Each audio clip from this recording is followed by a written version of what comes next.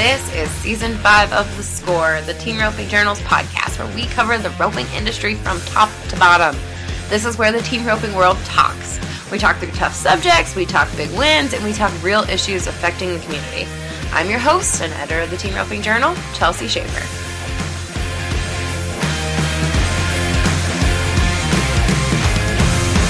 Hey everyone, welcome back to the Short Score. I'm your host, Jenna Link.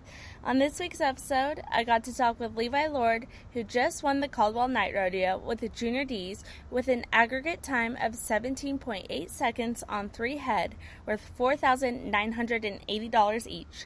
You can catch the full story online at teamropingjournal.com later this week, but you'll get a piece of the interview today. I hope you all enjoy this episode, brought to you by the WCRA.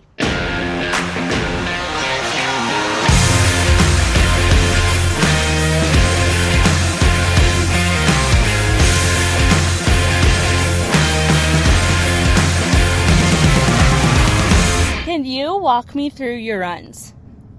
Um, yeah, first round, you know, a three header, we just kind of want to get the steer down. Uh, it's nice to place, nice to place, but if you don't have a good steer, then you can just kind of catch him and, and stay in average, and that's kind of where we at. He ran, he was a pretty good steer, but ran a little bit more, and we just made a pretty average run. We were five seven. Um, came back on our second steer. Didn't really like the steer, so then at that point we were just trying to make the short round. We knew that two good rounds would make the short round, so we just kind of the exact same thing on the second one. Just kind of caught him, and and we're six flat. Came back fifth tall back, and then in those short rounds, it seems like if you just make a good run, you you can win money. And we didn't. We definitely didn't expect to win it, but just made a decent run on a good steer with six one in the short round and a couple other teams had just tough luck, and I guess it was just kind of our day. Yeah, that's awesome. Um, can you talk to me about the horse that you were riding? Yeah, that's Polly. Um, I rode him. I rode a different horse a lot this winter, but ever since we've been out to California and then uh, and then outside, I've I've rode that horse pretty much every steer, and he's just a really good horse. He's not a I don't think he's just a superstar, but he just does everything really easy. Doesn't really mess up too much and just gives you the same go every time. That's awesome. Where did you get him from? I got him from Paul Eaves. Uh, that's I bought him right after the finals in 2020. After we had a good finals and had some money and, and needed another horse, so I kind of had my eye on him, and and he's really been a good good horse for me. He's been a really good fit. He's I've I've had pretty good luck with him the last couple years.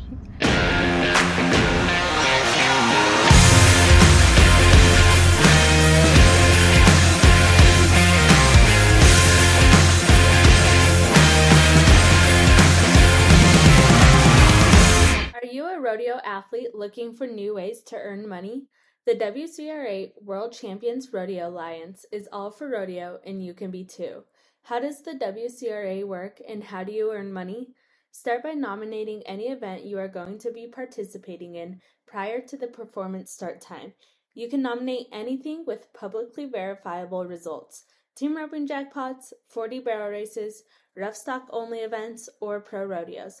Basically, any rodeo event counts. As long as the event has public and verifiable results, you are eligible to earn WCRA points. How do you start? Go to the App Store or Google Play Store Download the WCRA app on your mobile device. If you already have an account, hit nominate, and if not, hit register and create your account.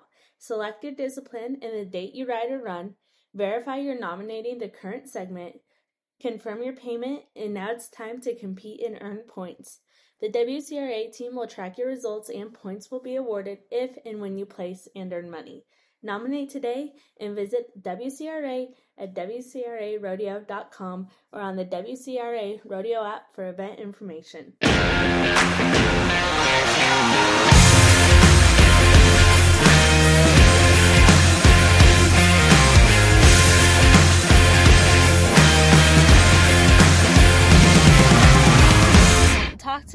About being in the top 15. What's your mindset right now? Oh, it's uh, it's an awesome position to be in, especially this time of year. Um, I guess probably after Caldwell, we we finally are to the point where I think we have enough money for sure to be in the NFR. So it kind of takes a little bit of the pressure off, um, and where you can just kind of enjoy it a little more being out here in the Northwest, and, and everybody kind of loves being up here. And it's a lot of good, good rodeos and not not so much travel, so we can just kind of get up here and and let the pressure off and just rope and, and try to win as much as we can. And it's a it's a really good position, and we're really thankful to, to be in the top in the top five or whatever we are, seventh, I guess, right now. But Yeah. but yeah. Cool. Um, so where are you guys roping next?